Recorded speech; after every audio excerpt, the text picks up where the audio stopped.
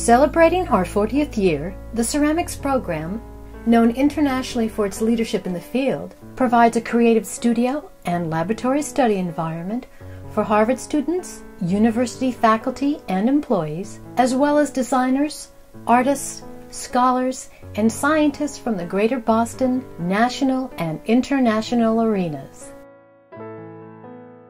The program was founded in 1969 by Harvard College undergraduates and became a Radcliffe College program in 1973. It was integrated into the Faculty of Arts and Sciences at Harvard in 1999 when Harvard and Radcliffe merged. Today, 10 Harvard faculty members from many fields serve as advisors. Courses are offered over three semesters at all levels, as well as special events for undergraduates like Clay All Night parties and workshops for FAS courses and student groups. Complementing the wide range of courses are lectures, master classes, and demonstrations by visiting artists and ceramic symposia involving potters, sculptors, art historians, and archaeologists from all over the world. During a class time, you just might find an 18 year old Harvard College beginner working next to a Japanese master potter, working next to a neighbor of yours in Allston. A ceramics library, study collection of work made by visiting artists, and studio exhibitions enhance the educational resources. The program also oversees a satellite studio for undergraduates in Quincy House. May and December exhibitions of work created in the studio feature the best, largest, and the most varied selection of contemporary ceramics in the Northeast.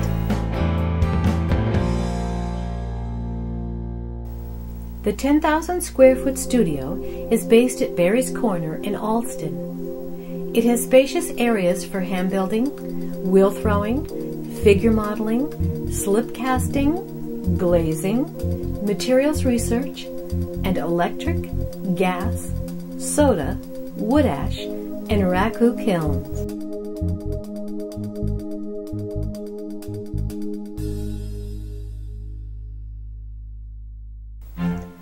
The Harvard community is fortunate to have had Nancy Selvage as the director of the ceramics program, a position she held from 1978 to 2009. During this time, Selvage produced a large body of public sculpture and mural work, as well as other pieces shown in galleries and museums. She has also written articles and grant proposals, organized many scholarly and hands-on symposia, taught classes at the studio, and attended many residencies. The ceramics program and the greater Harvard community have benefited tremendously from Nancy's tireless dedication to the program and to the arts.